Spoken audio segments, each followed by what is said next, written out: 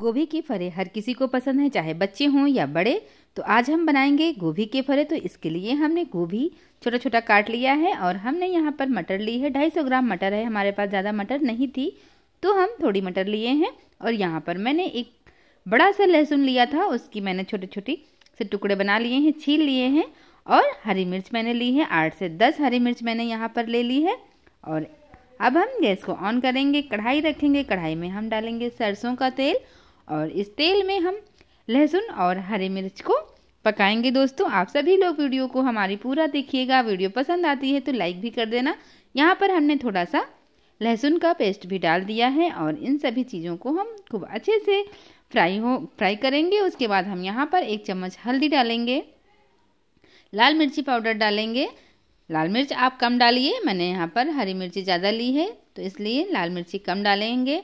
गरम मसाला डालना है आधा चम्मच, दो चम्मच। मैंने यहाँ पर धनिया पाउडर डाला है और इन सभी मसालों को हम खूब अच्छे से पका लेंगे। जब मसाले हमारे पक जाएँगे, तब हम इसी में सब्ज़ियाँ डाल देंगे जो मैंने काट के रखी हैं, गोभी और मटर। इसी में डालकर हमको इन सब्जियों को भी पका लेना है। सब्ज़ी हमें पूरी तरह से पकानी है। इसमें नमक हम ऐड कर देंगे और नमक ऐड करने के बाद हम इस सब्ज़ी को ढक कर पकाएँगे दोस्तों।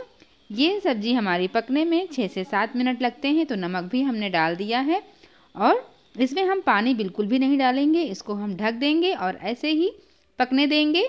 छः मिनट के बाद हम इसको चला देंगे और इसके बाद हम इसमें टमाटर ऐड कर देंगे। टमाटर डालने के बाद हम इस सब्ज़ी को दो तीन मिनट और पकाएँगे। बहुत ज़्यादा नहीं पकाना है, क्योंकि ये हमारी सब्ज़ी पक चुकी है। थोड़ा सा अभी टमाटर हम गलाएँगे, बस इतनी देर हमको पकाना है तो दो मिनट के बाद हमने फिर से ढक्कन हटाया है और इसको चला देंगे। तो देख सकते हैं आप लोग कि ये सब्ज़ी हमारी बनकर तैयार है और अब हम कटा हुआ हरा धनिया भी डाल देंगे सब्ज़ी में। आप लोग देखिए, ये सब्ज़ी हमारी बनकर तैयार है। बिल्कुल सूखी सूखी सब्ज़ी आपको बनानी है। ये हम गोभी के फरे बना रहे हैं, इसलिए ये सब्ज़ी हमारी सूखी सूखी होनी चाहिए।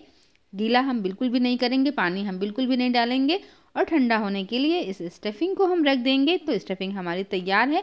हमने आटा गूँथ के रख लिया है। आधा घंटा पहले हमने गेहूँ का आटा गूँथ के रख लिया था और अब हम फरे बनाएँगे। तो फरे बनाने के लिए हमें एक बड़ी सी लोई बनानी है और हम एक बड़ी सी रोटी भी बेलेंगे। तो इस तरह से आप ज़्यादा आटा ले लीजिए और सूखा आटा लगा करके इस रोटी को आप बड़ा करिए और उसके बाद इसको पूरा बेल कर तैयार कर लीजिए। बड़ी रोटी बनानी है तो इसलिए हम अपने किचन के पत्थर पर ही बनाएँगे इसको, क्योंकि हमारा जो चकला है वो छोटा है तो इतनी बड़ी रोटी उस पर नहीं बन पाएगी।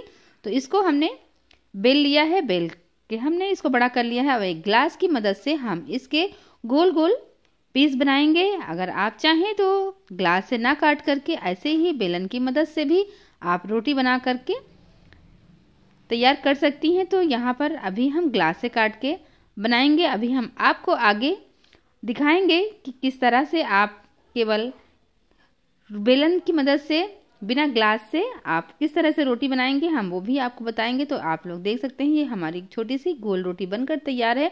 स्टफिंग को आप बीच में रख दीजिए और ऊपर से नीचे की तरफ़ दबाते जाइए और इस तरह से आप इसको फरे का आकार दे दीजिए। तो देखिए, ये फरे हमारे अच्छे से बन गए हैं। इसको आप दबाइए दबाइए ज़रूर। अच्छे से दबा दीजिए, नहीं तो ये फ्राई करते समय, यानी कि जब हम इसको पकाएँगे तो ये फट सकते हैं। तो इसलिए अच्छे से हमें किनारी दबानी है। किनारी में आपको पानी वगैरह लगाने की कोई ज़रूरत नहीं है, क्योंकि ये हमारा गेहूँ का आटा है और इससे बहुत अच्छे से ये दब जाता है और बिल्कुल खुलता भी नहीं है, बस आपको थोड़ा अच्छे से दबा देना है इसको।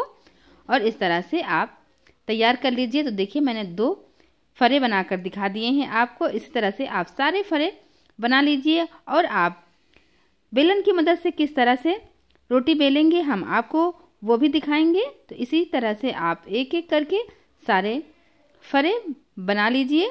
और गेहूँ की जो रोटी होती है उससे अगर आप बड़ा आकार देना चाहें तो आप बड़ा भी बना सकते हैं, छोटा आकार देना चाहें तो छोटा भी बना सकते हैं। ये फरे हमारे बिल्कुल छोटे छोटे से बनेंगे। जब आप ग्लास से बनाएँगे तो ये बहुत छोटे छोटे बनेंगे और देखने में बहुत सुंदर लगेंगे, एक साइज़ के बनते हैं।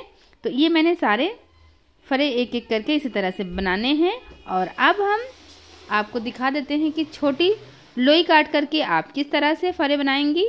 तो यहाँ पर हम रोटी छोटी सी बेलेंगे और इसमें भी हम स्टफिंग भर लेंगे उसी तरह से। जैसे मैंने छोटे छोटे फरे बनाए हैं, उसी तरह आप ये बड़ी रोटी बेल करके भी बड़े बड़े फरे बना सकती हैं। छोटे फरे ऐसा होता है कि देखने में बहुत खूबसूरत लगते हैं और जो बड़े बड़े फरे होते हैं, वो देखने में थोड़ा कम अच्छे लगते हैं। तो अगर आप चाहें तो बड़े बना लीजिए, अगर आप छोटे बनाना चाहें तो छोटे भी बना सकती हैं तो मैंने छोटे बड़े दोनों तरह के फरे आपको बनाकर दिखा दिए हैं। अब हम गैस पे कढ़ाई रखेंगे और कढ़ाई गर्म होने पर हम सरसों का तेल डालेंगे और इसमें हम डाल देंगे जीरा। यहाँ पर बहुत सारी चीज़ें हमें नहीं डालनी है। जीरा डालेंगे, हल्दी पाउडर डालेंगे और हम डाल देंगे लाल मिर्ची थोड़ी सी, गरम मसाला थोड़ा सा और एक चम्मच के करीब हम धनिया पाउडर डालकर पकाने के बाद हम इसमें एक गिलास पानी डाल देंगे और पानी को हम खोलने तक पकने देंगे, ऐसे ही नमक थोड़ा सा हम डाल देंगे, आधा चम्मच हमने नमक यहाँ पर डाला है, क्योंकि सब्ज़ी में भी हमने नमक डाला था तो यहाँ पर ज़्यादा नमक नहीं डालेंगे। जब ये पानी खोलने लगे तो एक एक करके हमारे जितने भी फरे हैं, जो बनकर तैयार हुए हैं, वो सारे हम डाल करके इसी में पका लेंगे। कम से कम पाँच मिनट इसको आप पकने दीजिए ढक्कन लगाकर, उसके बाद पाँच मिनट के बाद आप इस ढक्कन को हटा दीजिए और दोबारा से इन सभी फरों को पलट दीजिए और फिर से पाँच मिनट के लिए पकने दीजिए, क्योंकि ये फरे हैं, इनको पकने में थोड़ा सा टाइम भी लगता है। तो ये अच्छे से पक जाएँ, इसलिए आप पाँच से दस मिनट का टाइम ज़रूर दें। पाँच मिनट इधर से पकाएँ, पाँच मिनट उधर से पकाएँ, और दस मिनट में आपके ये फरे बनकर रेडी हो जाएँगे। तो आप देख सकते हैं, दोनों तरफ़ से हमारे ये फरे बनकर तैयार हैं। इन फरों को हम निकाल लेंगे एक एक करके सारे फरे निकाल देंगे। पानी हम बिल्कुल भी नहीं निकालेंगे सूखे सूखे फरे। हमको निकालने हैं और इनको हम थोड़ी देर के लिए ठंडा होने के लिए रख देंगे। ये सारे फरे हमने बना लिए हैं और इनको अब हम ठंडा करेंगे।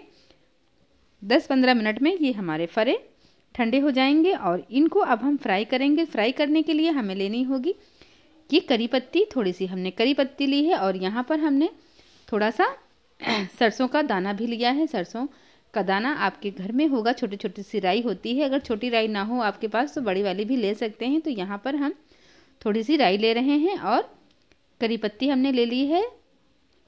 अब हम कढ़ाई में तेल डालेंगे। सरसों के तेल से हम बना रहे हैं और सरसों का तेल हमने डाल दिया है दो चम्मच के करीब। इसी में हम पहले राई डालेंगे। जब राई हमारी तड़कने लगेगी तभी हम इसमें करी पत्ती ऐड कर देंगे क्योंकि जब राई कच्ची रहेगी तो ये कड़वी लगती है तो इसलिए इसको पकाना बहुत ज़रूरी है। तो अच्छे से जब राई पक जाएगी तभी आप करी पत्ती डालिए और करी पत्ती डालने के बाद आप एक एक करके सारे फरे इसी में डाल करके उलट पलट करके फ्राई करिए दोस्तों। इस तरह से आप फ्राई करके गोभी के फरे बनाएँगे तो आपको बहुत अच्छे लगेंगे, बहुत टेस्टी लगते हैं। अगर आप चाहें तो इनको कुरकुरा भी कर सकते हैं। कुरकुरे भी ये बहुत अच्छे लगते हैं। अगर आप चाहें तो इसमें मसाले वगैरह भी डाल सकते हैं, नमक, मिर्च मसाले जो भी आपको पसंद है। और इसको आप ज़्यादा से ज़्यादा टेस्टी भी बना सकती हैं। बच्चे हमारे छोटे हैं, वो ज़्यादा कड़वा नहीं खाते हैं, इसलिए मैंने यहाँ पर मसाले थोड़ा कम ऐड किए हैं। तो इस तरह से आप मसाले और भी ऐड कर सकती हैं इसमें। चाट मसाला भी डाल सकती हैं। तो ये खाने में बहुत टेस्टी लगते हैं। वीडियो को पूरा देखने के लिए आपका बहुत बहुत धन्यवाद।